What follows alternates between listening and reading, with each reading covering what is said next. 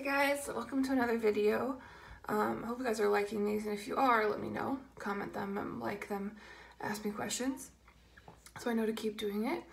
Um, I do have a party coming up, unofficial Arbonne party, um, at my house, 17th for brunch. Make protein pancakes and sausage and eggs and some sort of orange juice beverage because I'm pregnant and gonna be boring. Um, so that's the 17th at 10 a.m. at my house. Contact me if you're interested. Um, I'd love to have you there. And we're just gonna go through fun things, makeup and face wash and all sorts of fun things. So if you've been keeping up with my videos, you know that I did a, video on foundation, Arbonne's foundation, um, which I reviewed as really airy and light, and this guy telling you the difference between C, C cream and then um, Arbonne's, like, or just foundation in general.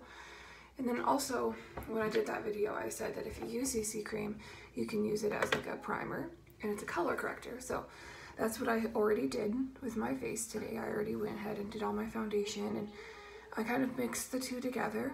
Um, and you can kind of see the, the look I have going on here. It's a, a little more airbrushed looking, a little more full, and the kind of just obviously boring because it's just foundation, but it's there. Um, I just really want to speak to the fact that I haven't slept in a week because I'm, I haven't slept in forever because I'm eight months pregnant. So I've just really been using the um, Arbonne eye cream and it's been really helping me not have such intense moon eyes. Okay, so today I want to talk to you guys about um, bronzer and how to use it. So what I have used in the past is Bobbi Brown's bronze, bronzer and it looks like this. I liked it because it was a lighter brown and it was kind of golden and shimmery. I liked the golden shimmery, but sometimes golden shimmery was a bit much, you know? It was just like, my face looks like a shiny golden hue and I just had to learn to use bronzer correctly, which is what I'm going to tell you. I don't really like using bronze or Bobbi Brown now because I know that everything's made in China, which means the animals have definitely been tested on it. But one thing about bronzer is that it is kind of expensive up front, but it lasts forever. I bought this in 2015 and there's still some stuff left in it. Um, that's the only reason why I keep using it, but I found out shortly after I bought it what Bobbi Brown stands for, and I'm not super proud of it. So I kind of will never buy from her again. And then Arbonne's um, bronzer looks a little different. It's more of a matte, um, not shimmery and a little dark. And I won't lie to you, I saw this and I was a little freaked out because I'm a pale person and I'm like, I don't really want to use this dark bronzer on my skin. I'm gonna look really stupid. Because bronzer usually doesn't come in multiple colors because that's blush. Bronzer, its purpose is to promote healthy looking skin, a glow, um, a natural looking tan.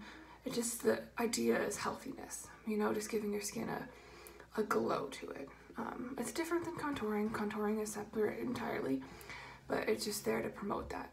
Um, bronzer can be used any time of the year. I would say especially in winter, not the opposite where people are like, use in summer. Because summertime you're already tan, so I would say use it less in the summertime. I would use it um, more to even out your tans. Um, and then in the wintertime it just gives you more like of a glow, which I personally like because I'm super pale. Now, when you, you do a bronzer, there's two types of brush that is recommended.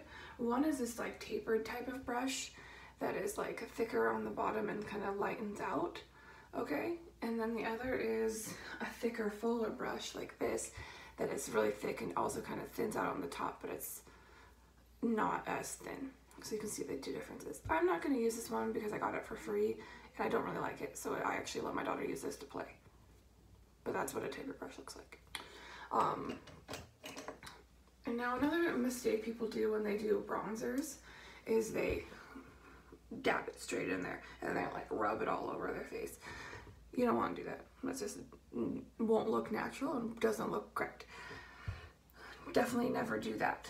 Um, if you do this when you apply a foundation or a blush or bronzer, you're getting way too much product on the brush. And when you get way too much product on the brush, it kind of gives you a globby look, even if you try to spread it all out. Um, so that is that. I also want to say, I'm gonna go over translucent powders later on, um, not in this video. What I would recommend is doing a setting powder though, like a little bit before you do the bronzer because it's going to help the bronzer do that glow nicely. Uh, not very much of it, just kind of dabbing it across your face. And I will go over um, setting powders later. Not in this video, but it does help your bronzer look better if you do a quick setting powder, like I just did, and that took what seconds. So anyways, when you apply a bronzer, it is best to go on its, like this tip, like a side like this, and roll it, okay? So tip and roll. You shouldn't get too much excess when you do that. And then when you actually apply the bronzer, I like to do a three or an E on my face. You want to do it on the parts of your face that the sun's actually going to hit. So, or would naturally hit. So forehead, all right, and your cheekbone right here. And then go down and then over, okay? So see how I'm making a three? Like this, three. Down. And over. Okay, and then I'll do it again. To the side, roll it, don't dip, roll. We don't want excess. Do the other side of my forehead, down below my cheekbone, and then down into my jawline, okay? So just gonna retrace those steps, and that is all I'm gonna, put all the powder I'm gonna put on my face, because I'm, if you're darker skinned, you can probably do a little bit more, um, but I'm pale, so if I did too much, I would look funny. Okay, so making that E, brushing it in. You see the E I'm doing here, or the three? To think three or a capital E. Down below your cheek, down by your ear, and all across your jawline. Down and across your jawline, okay? And now, one thing that's super important when you do bronzer is you don't want to have your face look different than your neck. You know, same thing with foundation. Um, kind of I have a sunburn right now, so no matter what I do, I'm gonna have like makeup face and lobster neck. But um, generally, you would take this and you would spread it down. Okay, I might add a little more to my brush, but not too much more. Okay, just going down across your neck, behind your neck, on your shoulders, so that way you just kind of get that sun-kissed look. And that is how you apply bronzer. And you can see that, um, you can see this gives me like a nicer, healthier looking glow.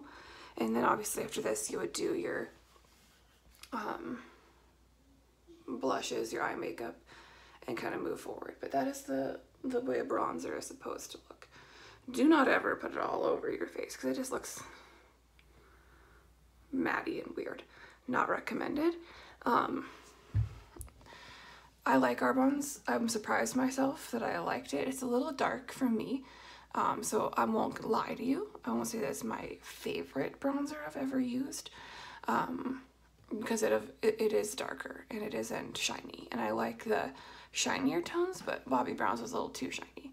So I do like it. I think it's very useful.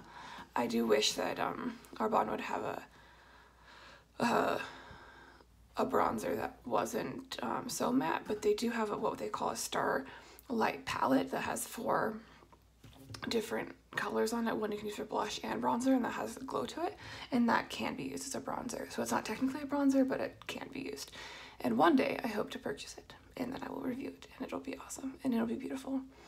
Um, so they do have something that will look that way. It just is not technically a bronzer but it can act that way and it will be awesome.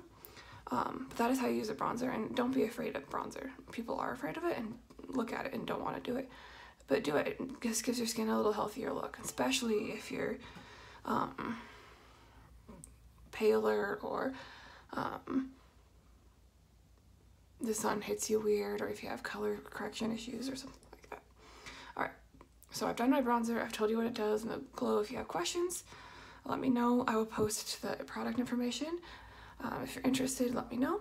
Um, and then I will send, take a few photos as well. All right, guys. Thanks for hanging out with me.